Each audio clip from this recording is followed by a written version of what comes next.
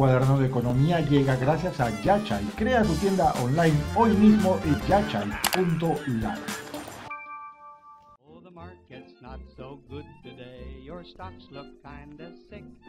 In fact, they all drop down a point each time the tickers tick. Hola, el día de ayer las autoridades electorales del Perú proclamaron a Pedro Castillo Terrones como el nuevo presidente de la República. La ex candidata, ahora sí podemos decirle ex candidata Keiko Fujimori, eh, reconoció la derrota y ahora ella, bueno, tendrá que enfocarse en el juicio que tiene pendiente, una denuncia por un eh, presunto delito de lavado de activos y supuestamente por liderar una organización criminal al interior de su agrupación, una denuncia eh, desde la fiscalía que compromete no solamente a ella, le han pedido 30 años, sino a sus eh, colaboradores, ¿verdad? Bien, eh, reconoció, decíamos, la ex postulante, que bien se siente uno al decirlo, la derrota, ¿no? su derrota por tercera vez, eh, tras acusar de fraude al proceso electoral en segunda vuelta, ¿no? una porfía que alimentó no solamente una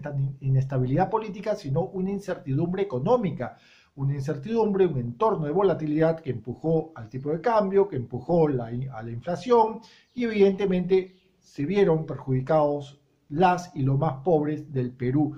Había cuenta una inflación que ya desde el entorno global venía eh, con fuerza, la candidata Keiko Fujimori provocó aún más un entorno complicado desde la conformación o formación de precios, ¿verdad? Formación de precios y variación que, repetimos, insistimos, atacó a las y a los más pobres. ¿Por qué? Porque las y los más pobres no tienen cuentas eh, de bancos, no tienen activos, no tienen portafolios, no pueden vender su casa de playa, no pueden vender su apartamento y pillar esos dólares y mandarse mudar afuera. No, los más pobres tienen lo que tienen en el bolsillo y a medida que avanza la inflación, habida cuenta un entorno muy volátil en tipo de cambio, bueno, eso que tienen en el bolsillo va a ir desvalorizándose. Bien. Gracias a la señora Keiko Fujimori, el equipo económico de Pedro Castillo, liderado por el economista Pedro Franque, no ha tenido tiempo para diseñar plataformas eh, de cara a eh, diseñar, valga la redundancia, una transferencia o comisiones de transferencia de ministerio y organismos técnicos. Lo más probable, en condicional, es que el profesor Pedro Castillo eh, ate de eh, los mismos cuadros técnicos de la actual gestión del presidente Sagasti, por lo menos por un tiempito más, salvo, salvo, salvo ministerios estratégicos como el Ministerio de Economía y Finanzas, por ejemplo. Y hablando de economía, ¿cuáles son los retos que debe de asumir Pedro Castillo en rapidísima reacción y también a largo plazo? Bien, en corto plazo está en agenda, evidentemente, continuar con el proceso de vacunación un modelo y una metodología que viene provocando que ya contemos con el 10% de la población vacunada según las autoridades sanitarias. Debe de perpetuarse, debe de extenderse ese modelo de vacunación.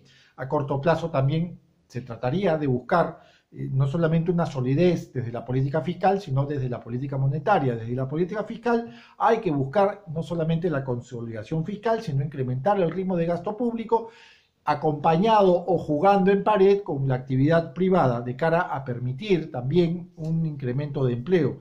Ahora, desde el frente monetario, también evidentemente el flujo de capital a través de préstamos bancarios hacia la PYME o hacia la MIPE, que son el 98% de las organizaciones empresariales en el Perú, es esencial. ¿Por qué? Porque son grandes generadores de empleo y además también el flujo de capital desde el Frente Monetario hacia la clase media trabajadora también es un punto crítico dentro de la agenda, ¿no es cierto? Todo este entorno, evidentemente, o en todo este entorno, evidentemente se busca también dinamizar el empleo. Un empleo que si bien es cierto, respecto al 2019 ha caído en un dígito, ahora, respecto al 2020, sigue perpetuando esa horquilla de dos dígitos. Además, ha aumentado el subempleo también en dos dígitos, tanto por el lado de ingreso como por el lado de horas trabajadas. Entonces, hay un pendiente, hay una necesidad muy de corto plazo, 100, 150, 200 días, de reducir esa masa, masa crítica de desempleados, ¿verdad?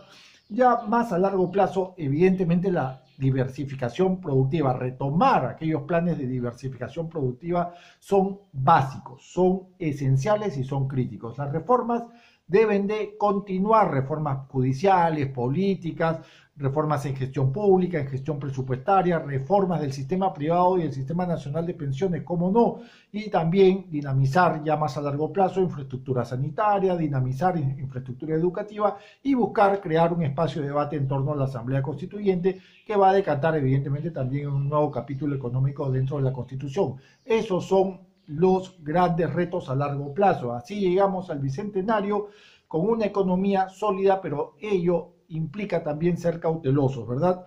Felicitaciones al profesor eh, Pedro Castillo Terrones y mucha suerte. Y a ustedes, muchas gracias.